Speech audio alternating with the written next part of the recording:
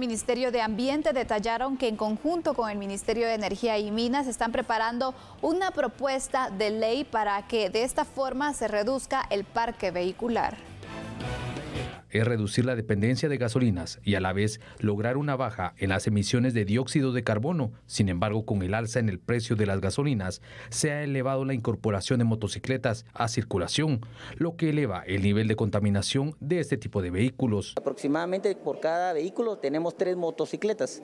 y es un, digamos, un parque vehicular bastante significativo y es uno de los eh, más altamente emisores de gases de efecto invernadero en el país, aunque aún así no somos un país altamente significativo a nivel mundial. No obstante, tenemos estrategias como a mediano y largo plazo, como lo que es la movilidad eléctrica, la mezcla de combustible con etanol, son estrategias que deben eh, de iniciarse con una iniciativa de ley que sea aprobada por la ley eh, por el Congreso de la República y estamos estableciendo